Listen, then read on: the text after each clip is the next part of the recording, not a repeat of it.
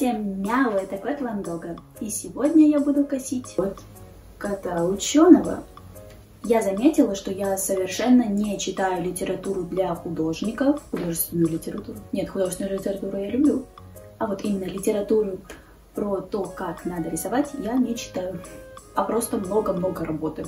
Но я решила восполнить этот пробел и заодно подтянуть свой скилл и почитать учебники и попробовать и вас чему-нибудь научить. Руководствоваться я буду учебником Николая Ли «Основы рисунка». И говорить мы будем про основы рисунка.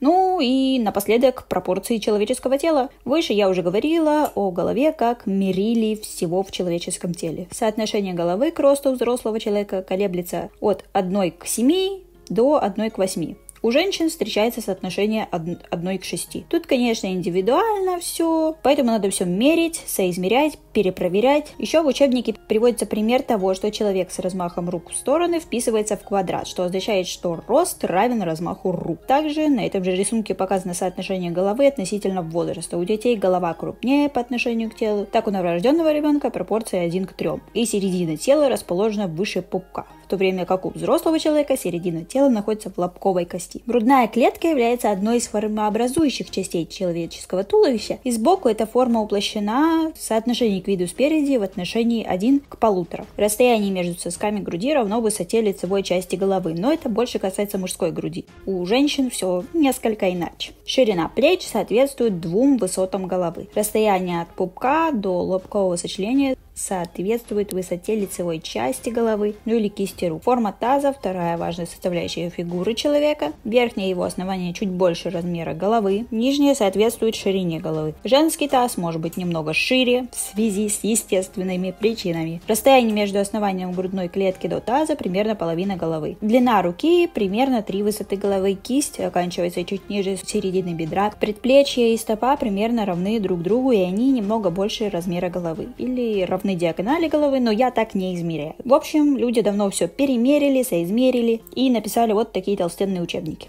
Зачем нам всем эти цифры, я не знаю, потому что большую часть того, что я сейчас перечислила, я не знаю, не запомню и буду жить с этим дальше и рисовать классные картины. Да. Но очень важно все мерить, соизмерять и перепроверять себя. Не доверяйте себе, перепроверяйте всегда. И еще кое-что хотелось отметить. Длина плеча больше, чем длина предплечья, а длина предплечья больше, чем длина кисти. То же самое касается ног. Длина бедра больше длины голени, а длина голени больше, чем длина стопы. Вот такой вот принцип золотого сечения на примере конечности человека. В общем, думайте, соизмеряйте и как можно больше рисуйте, потому что практика – наше все. Ну что, надеюсь, все было понятно. По крайней мере, я старалась объяснить доступным и понятным языком, насколько я сама поняла информацию. Напоследок хотела бы сказать, что я бы с радостью сказала вам, что есть волшебный способ научиться быстро рисовать шедевры, но такого нет. Такого нет. К сожалению, рисование это трудно. Рисование это большой труд.